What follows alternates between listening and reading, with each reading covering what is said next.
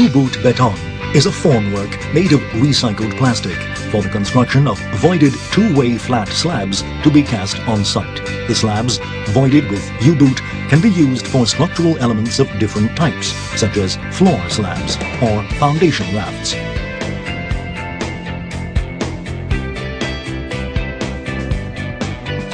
This solution affords considerable designing, technical and economic advantages compared with the traditional clay or cement systems, those in lightweight polystyrene or fully casted two-way slabs. The traditional clay or cement or polystyrene floor slabs normally consist of monodirectional beams that discharge stresses onto the main beams, from these to the pillars and finally to the foundations. The full plate floor slabs instead are made from monolithic reinforced concrete casts in which the structure is able to bidirectionally transmit loads directly to the pillars and from these to the foundations. By using U-boot, a lighter slab structure is obtained, capable of splitting the stresses in any direction, transferring them directly to the pillars. To simplify the concept, we could imagine a series of double T beams, one alongside the other and arranged as a trellis. All shear stresses will be concentrated close to the pillars, where a suitable full section gets left. In this way, floor slabs with mushroom-like pillars will be reproposed in modern key, the specificity being that the mushroom is embedded in the floor slab thickness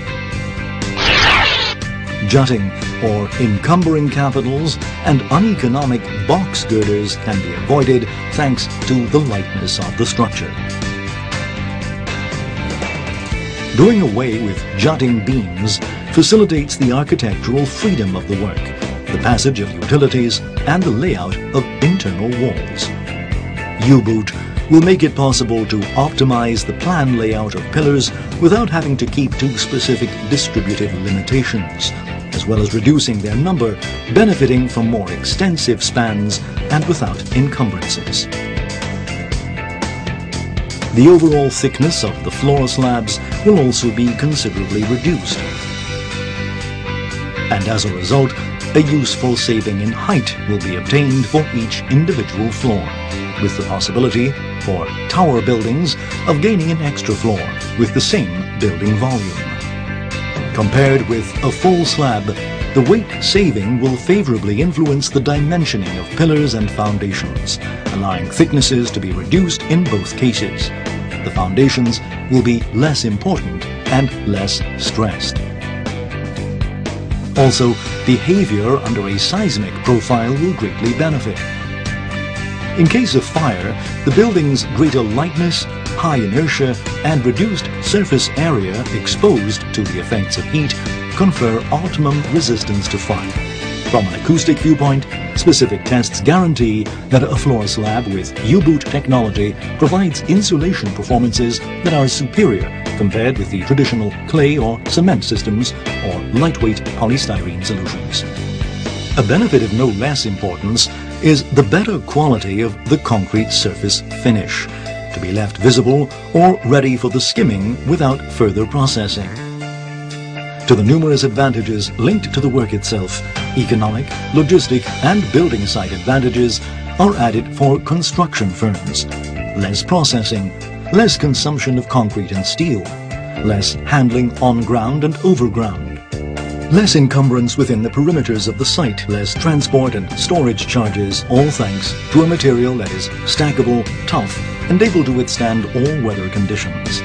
Personnel will be handling a product that is safe and light, non-soiling and easy to use.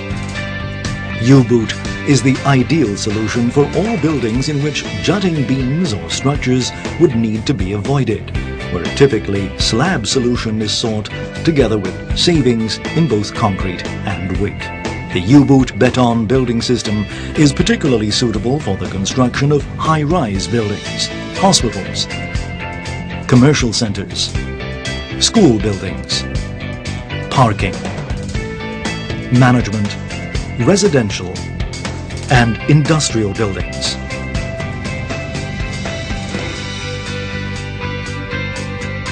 In case of raft foundations, thanks to a greater inertia, U-boot makes it possible to implement structures with a better performance, given the same concrete used. Where grounds are found to have a low carrying capacity, it will furthermore be possible to eliminate or reduce complex and costly foundation piles.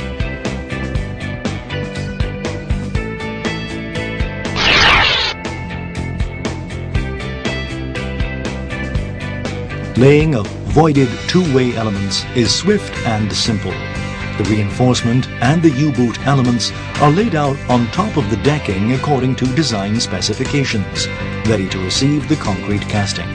The layout does not require specialized personnel. The correct distance between the elements is assured by a spacer joint, equipped with a graduated scale by means of which the width of the beams being formed with the casting can be rapidly determined.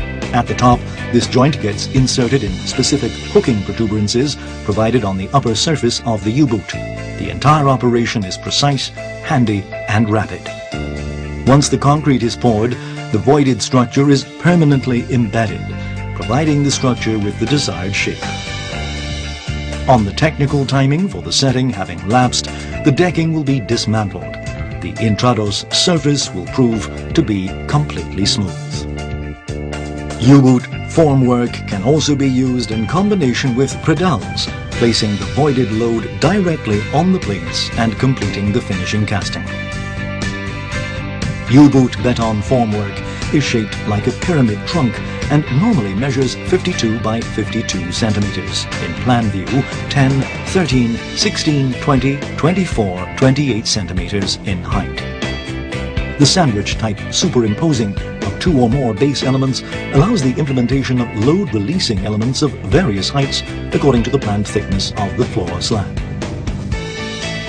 Also, the conical elevator feet placed at the four corners can be of different heights to determine a different distance from the casting deck plate, and as a result, a different thickness of the Intrados slab.